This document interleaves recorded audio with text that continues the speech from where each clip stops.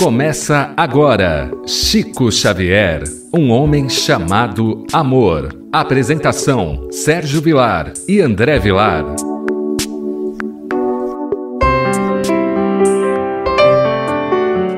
Queridos amigos da Rádio Boa Nova, é com grande alegria que estamos entrando no ar com o programa Chico Xavier, um homem chamado amor. A apresentação de Sérgio Vilar e André Luiz Querini Vilar. Tudo bem com você, André Luiz? Tudo bem, querido Sérgio. É sempre uma alegria imensa nós podermos participar deste programa, divulgando a vida do Chico, divulgando os seus ensinamentos, divulgando os seus exemplos, que muito contagia para que possamos dar continuidade no passo a passo, no dia a dia, nos afazeres domésticos, nos afazeres profissionais. Então esse programa ele é tido por nós com muito carinho e de modo especial. Hoje, André, o nosso programa é o professor Ramiro Gama intitula com uma pergunta de Timbirá. É interessante o nosso rádio ouvinte prestar atenção nessa história porque muitas pessoas achavam que o Chico só recebia espírito de alta envergadura. E nós vamos ver que ao longo da sua existência terrena, na sua mediunidade abençoada, Chico recebeu espírito de todas as matizes, inclusive espíritos bons e simples. Nós vamos ver que naquela época que o Chico fundou o Centro Espírita Luiz Gonzaga, era ele e o irmão dele que estava à frente da casa. Joaquim Timbirá era uma das entidades que se comunicava no grupo frequentemente, nas sessões dos irmãos Xavier. Então, um espírito que sempre vinha, dava uma mensagem, companheiro espiritual, simples e bom. Estava sempre disposto a auxiliar todas as pessoas do grupo, com a sua experiência no trabalho em favor dos obsidiados. Houve uma ocasião, André, em que apareceu uma jovem perseguida por diversas entidades da sombra. E principalmente à noite, André, os obsessores, em grupos, ou seja, falanges, tomavam-lhe a boca, derramando fel e veneno em forma de palavras. É muito natural que quando um obsessor encontra aquele que no ontem o prejudicou, ou mesmo através da obsessão gratuita, aquela perseguição motivada pelas bandeiras, seja no campo religioso, no campo de, uma, de um auxílio ao próximo, se a pessoa do outro lado não tem um preparo, é muito natural que se torne refém de obsessores. Então, o que nós estamos vendo na história de hoje, na atualidade ainda encontramos obsessores que agem do mesmo modo, com a mesma perversidade. E era natural que quando essa pessoa chegasse no centro, houvesse uma comoção, porque um quadro obsessivo, ele gera para as pessoas que o vê muita comoção, muita tristeza, dependendo do caso, porque tem espíritos que não têm um, um pingo de compaixão, não tem um pingo de remorso, não tem um pingo de, de respeito mesmo pela vida do próximo. Então, nós estamos vendo a lição que vamos ter hoje. Eu gostaria também, André, de enfatizar que naquela época o processo obsessivo era mais gritante, era mais violento. Talvez hoje, nas casas espíritas, raramente nós vamos ver um caso desse. Não significa que não existe, mas hoje, quando aparece um caso desse, nem sempre se leva para um centro, se leva para um hospital que já o medica e o encaminha para um hospital psiquiátrico. Porque ainda o número de médicos que conhecem um processo da obsessão, ou seja, médicos que seja espírita ou espiritualista são muito poucos. Na época do Chico, nós vamos perceber, André, que isso era muito comum. Naquela época não tinha os hospitais psiquiátricos. Vamos relembrar que estava começando aquela ideia dos hospitais psiquiátricos. Não só que a grande maioria dos hospitais psiquiátricos que foram montados no Brasil foram montados por espíritas. O Chico teve um papel muito importante, também pouca gente sabe disso. Na nossa região aqui de quatro hospitais psiquiátricos, os quatro eram espíritas. Então nós percebemos, André, que naquela época havia uma necessidade, entendendo que esses processos obsessivos eram derivados. Nesse caso especificamente, André, nós vamos analisar que existe a questão daquela obsessão complexa que Kardec coloca para nós, não é? Que chega a ser quase que a possessão. E descreve o Chico que não era uma entidade, era uma falange. Ou seja, essa moça foi uma moça que prejudicou muita gente. Aqui não é uma obsessão simples, que a pessoa vai num bar e um espírito simpatiza com ela e acompanha ela até a casa dela. Não é isso. Nós estamos falando de uma obsessão complexa, de uma possessão, aonde é aqueles casos, não é, que quando chega no centro, ninguém quer ficar perto, porque o espírito praticamente toma o pensamento daquele médium e realmente começa, como ele diz aqui, falar coisas impróprias. E realmente, quando a gente vê o médium, o médium se transfigura, né, André? Sem dúvida. Por isso que não é simples você tirar o obsessor do, do obsedado. Precisa de um trabalho que requer um grupo harmonioso, que requer a participação também do encarnado, que requer toda uma preparação porque do contrário pode se estender por um tempo até grande este convívio gerando frutos amargos quantos os que estamos vendo na história de hoje. Olha que interessante, André. José doutrinava os visitantes conturbados. Iam muitos e muitos vinham. E o dirigente conversava, conversava. Numa dessas reuniões, Joaquim Tibirá incorpora-se no Chico e aconselha. Por quê? Porque José estava ficando exausto. Porque eram muitos espíritos, André. Olha o detalhe. Chico diz: os espíritos vinham e iam em quantidades enormes. É, naquela época, lembremos que o espiritismo ainda não estava difundido no Brasil, não havia tantos centros espíritas e os necessitados também naquela altura eram muitos. Então, onde aparecia uma luz, era muito natural que aquilo atraísse os espíritos, que aquilo atraísse. Nós já tivemos oportunidade de ver, por exemplo, em programas anteriores, que foi aquela mãe com aquele tio, com aquelas três meninas obsedadas, de um lugar muito longe do Brasil. Por quê? Porque eram poucos os centros naquela altura. E na onde falava que tinha ajuda espiritual, muitos sofriam destes processos obsessivos. André, agora nós vamos ver uma coisa que me chamou muito a atenção nessa história. Nós vamos perceber que esse simples espírito chama a atenção de José. Porque José tinha a ideia, André, que ele estava fazendo caridade, ajudando todas aquelas entidades. Olha o que, que acontece quando José recebe uma orientação desse amigo espiritual. Porque nós vamos perceber, André, que o Joaquim Timbirá incorpora no Chico para dar essa mensagem a José. José, meu filho, convém ensinar o bom caminho aos irmãos sofredores. Entretanto, é preciso doutrinar igualmente a médium. É necessário que a mocinha estude compenetrando-se dos seus deveres. Veja, André, aqui a história começa a mudar um pouco. Não adianta só atender os espíritos. A casa espírita, diante dos seus dirigentes e dos encarnados, tem a obrigação de preparar o médium. Sem dúvida. Não podemos tratar apenas o obsessor. Nós temos que tratar também ela, porque quando nós chegamos a uma casa espírita, independente se é uma pessoa obsedada ou não, o Espiritismo promove dentro de nós perguntas, reflexões, mas para isso eu tenho que estudar.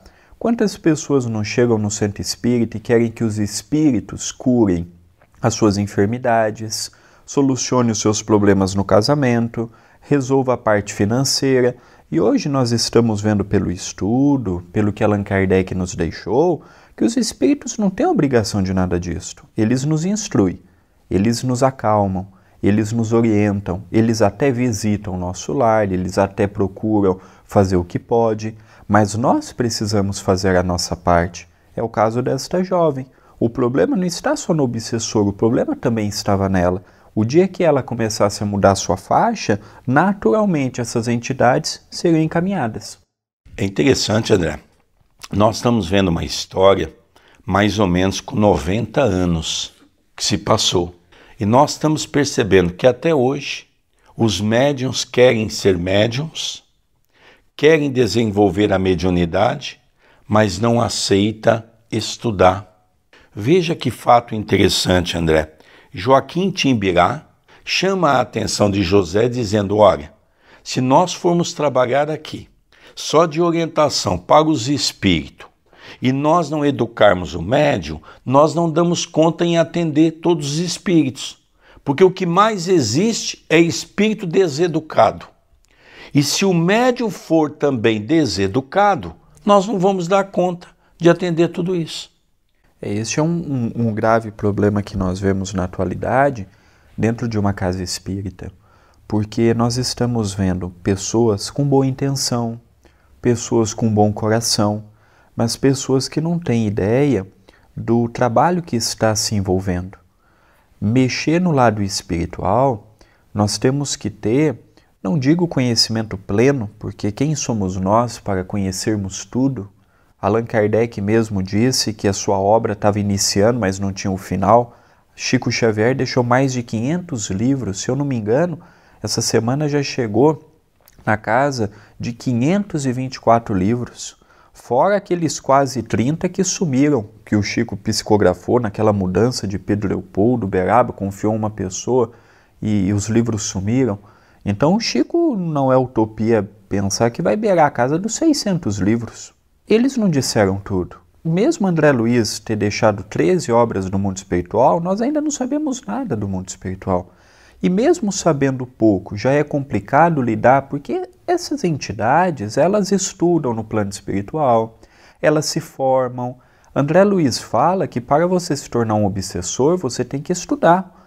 Não vou, ah, vou obsediar por obsediar. Agora, se nós também não estudarmos, como é que nós poderemos lidar com as adversidades do mundo espiritual sem nos afetarmos.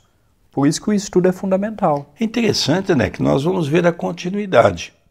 Porque José não aceitou, num primeiro momento, a orientação do espírito. Ele tentou argumentar.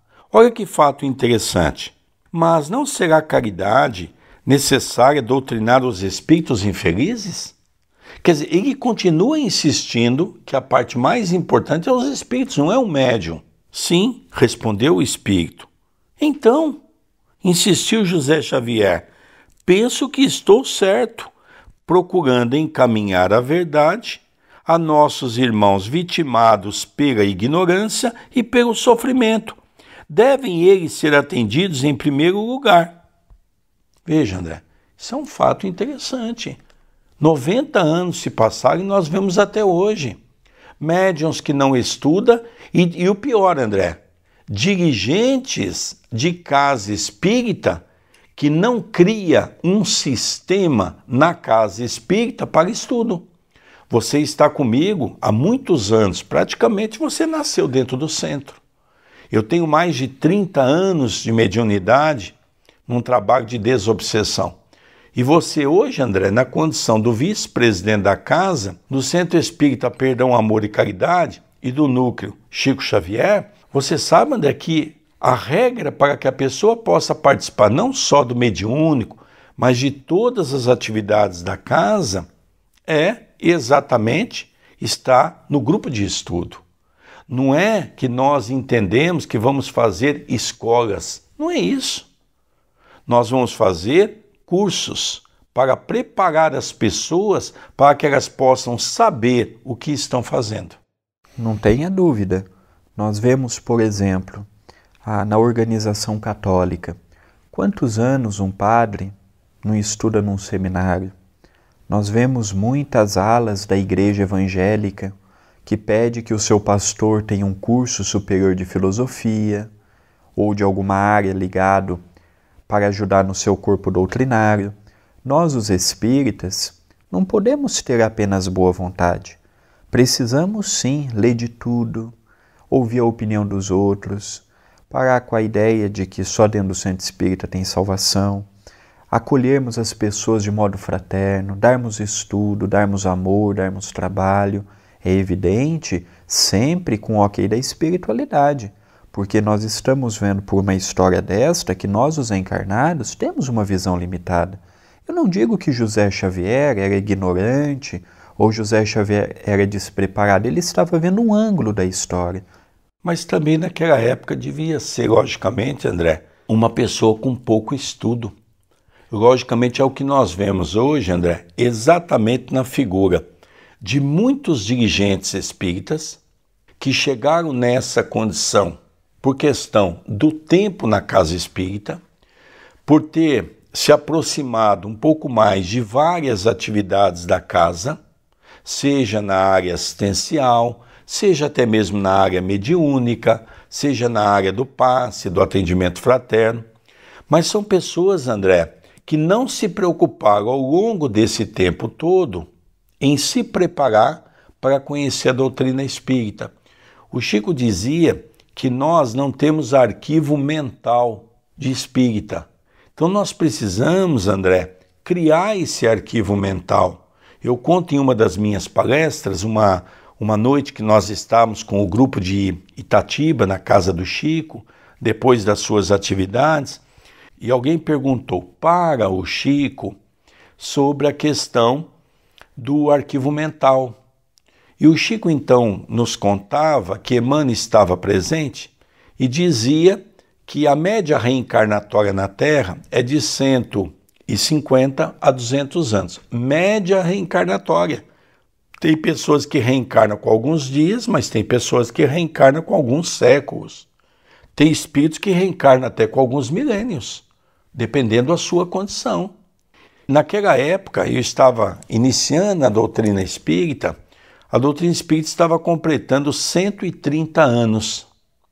E nós nos lembramos que o Chico dizia: olha, Emmanuel está dizendo que muitas pessoas têm arquivo mental quando lê uma Bíblia, porque lembra daquela época que viveu, quando lê um livro dos maometanos, porque nós já passamos também por essa fase, do budismo, do judaísmo.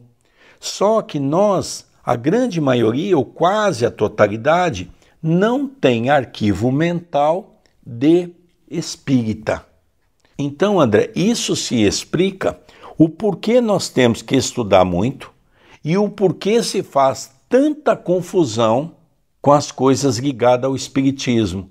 É uma doutrina de uma complexidade muito grande. Por quê? Kardec teve que criar palavras novas para conceitos novos.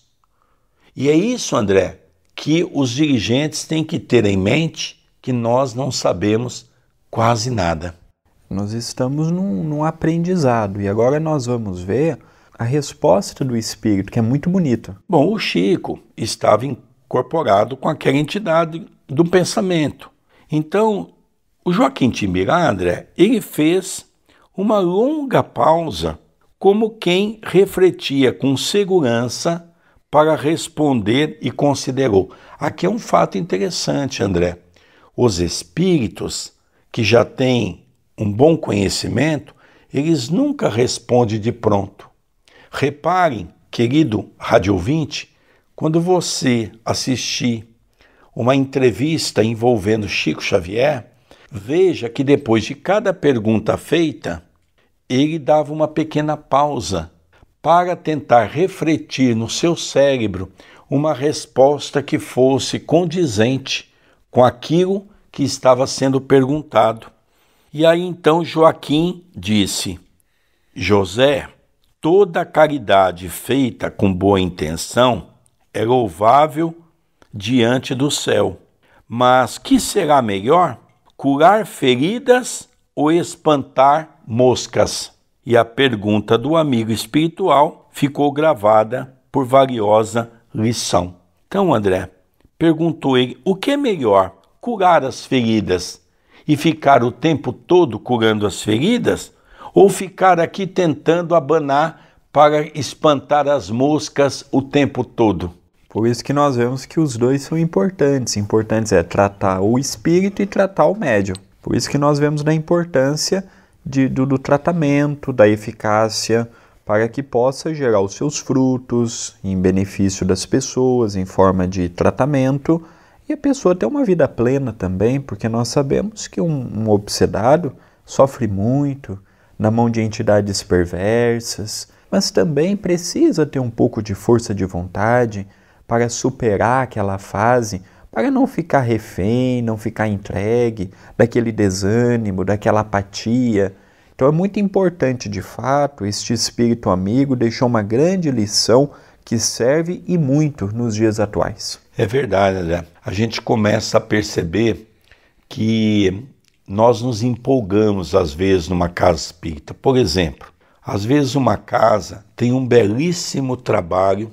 assistencial e muitos dirigentes acham que por si só esse trabalho é o mais importante.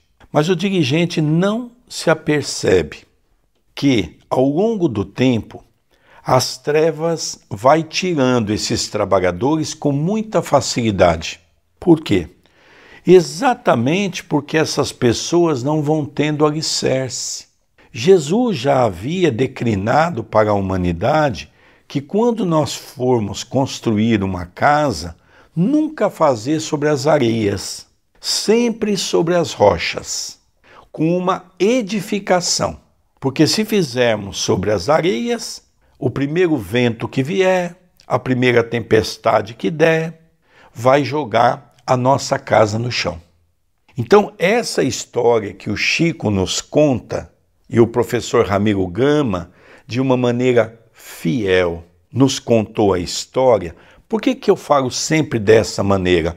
porque não é aquela história que você ouviu falar.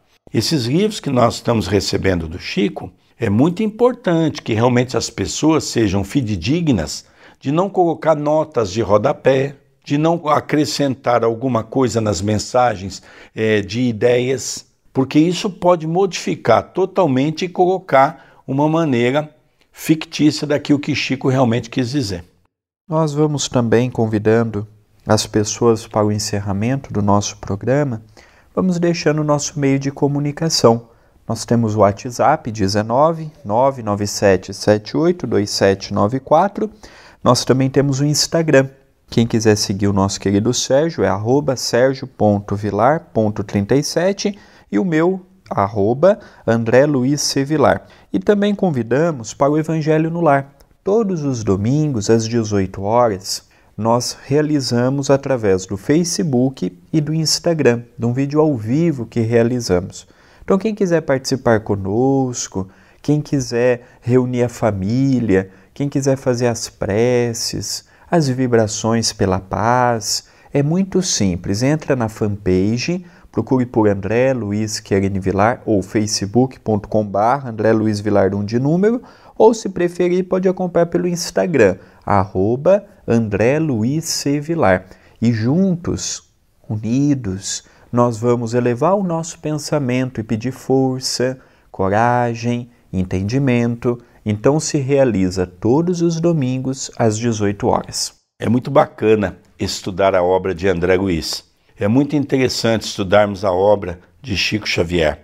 E é muito importante nós compreendermos esse complemento da doutrina espírita que tem nos auxiliado e muito para podermos avançar nessa condição de entender o cristianismo redivivo. Queridos amigos, a nossa alegria, querido rádio ouvinte, a nossa gratidão pela sua presença no nosso programa, de estar sempre acompanhando, estar sempre mandando mensagem. E rogamos a Jesus que possa continuar nos dar força, coragem a todos nós para podermos ter Chico como nosso modelo, que logicamente inspirado em nosso Senhor Jesus Cristo.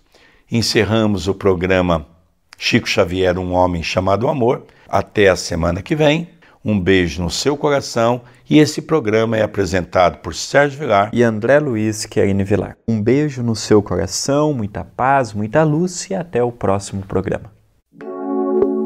Você acompanhou Chico Xavier, um homem chamado amor.